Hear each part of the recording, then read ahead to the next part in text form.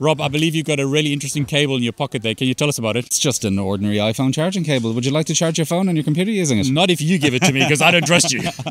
so this is a, uh, it's called an OMG cable. As you can see, it looks basically indistinguishable from an, an ordinary uh, USB-C charging cable, but it's basically like a rubber ducky on steroids. So it can do everything a rubber ducky can do, but it also has a Wi-Fi adapter built into it. So Yep. the cable itself is broadcasting a Wi-Fi signal. It also has a little web server running on it as well, which is pretty uh, pretty amazing. But what that means is you can connect to an OMG cable from literally outside in the street. So what it means is with a rubber ducky, you need somebody to take immediate action. You need them to connect the rubber ducky and then stuff to happen. With an OMG cable, it could be sitting there for days or weeks or months. I mean, if you leave cables out in a reception area in People an will pick them organization, up. people will pick them up. I mean, they, maybe people are educated about USBs and they're not going to try and plug a random USB in. Are they educated about cables? Yep. I suspect probably not. I mean, there was an interesting story I read uh, or heard about a employee in Tesla quite a few years ago was offered a half a million do- dollars to plug a rubber ducky into a machine in Tesla. My argument with a lot of organizations is how much would it cost me to get